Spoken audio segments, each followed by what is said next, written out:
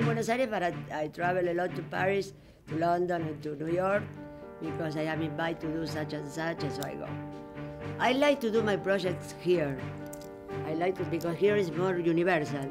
So uh, I prefer to live in this universe. And we are only artists. We are not politics. Politics. I believe art is higher than politics. In the latest years of the militars, 1918, many books were forbidden by the militars, and they were burned. They burned one million and a half books.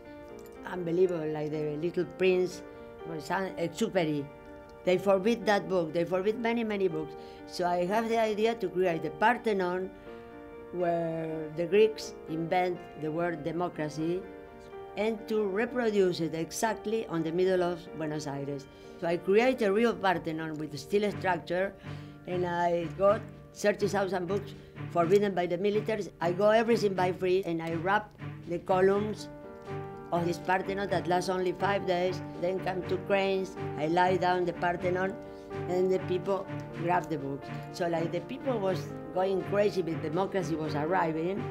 So that was uh, my biggest statement about democracy. Democracy without books will not be democracy. So nobody has the right to forbid to forbid books because you forbid ideas. So that's how I work. I always I am inventing new things and I can't stop imagination. I can't stop. We work immediately.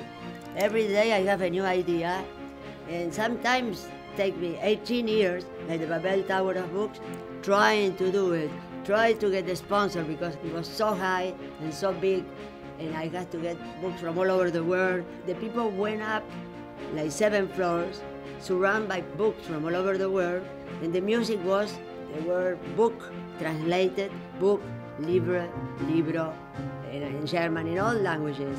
And that was the music when the people was going up. They see this reality from high, and then they came down last 20 days, and then the people came and grabbed the books from below, and all the other books went to public libraries. So it has a sense of ideas, of freedom, that must be one universal language so we can understand each other has many ideas of that.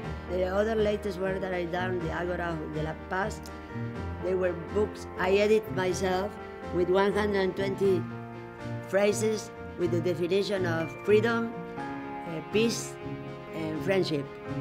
The people can read in a pocketbook from celebrities who wrote peace is that from Mahatma Gandhi, freedom is that from Jean-Paul Sartre, friendship is that from Garcia Lorca. Okay. So they're written in the books, they read those phrases and become most peaceful.